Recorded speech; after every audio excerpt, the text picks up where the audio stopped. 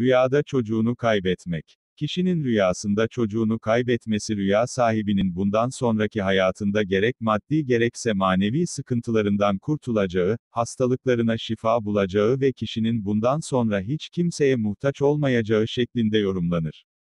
Bazı yorumcular ise kişinin rüyasında çocuğunu kaybetmesi rüya sahibinin hayatında kısa süreli üzüntüler ve zorluklar yaşayacağı, sıkıntılı günlerin bir süre sonra sona ereceği anlamına geldiği şeklinde yorumlanıyor.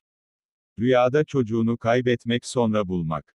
Kişinin rüyasında çocuğunu kaybetmesi ve sonra bulduğunu görmesi rüya sahibinin işlerinde ve hayatının bazı alanlarında bir takım sıkıntılar yaşayacağı, yanında sandığı kişilerin aslında bazı konularda karşı tarafta yer alacağı, rüya sahibinin ise bundan sonraki kararlarını tek başına vereceği ve ayaklarının üzerinde kendi başına duracağı şeklinde yorumlanıyor.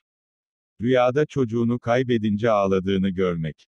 Rüya sahibi eğer rüyasında çocuğunu kaybettikten sonra ağladığını görmesi, rüya sahibinin büyük bir mutluluk yaşayacağı anlamına geldiği, ayrıca rüya sahibinin hayatının bundan sonra yolunda gideceği, mutlu haberler alacağı ve aşk hayatının yoluna gireceği şeklinde yorumlanıyor. Rüyada çocuğunun öldüğünü görmesi. Kişinin rüyasında çocuğunun öldüğünü görmesi rüya sahibinin yaşlılıkta huzur içerisinde yaşayacağı ve sevdiklerinin yanında huzur içerisinde gözlerini kapatacağı şeklinde yorumlanıyor. Bu durum başka yorumculara göre ise rüya sahibinin çevresindeki insanlar tarafından sevildiği anlamında yorumlanır.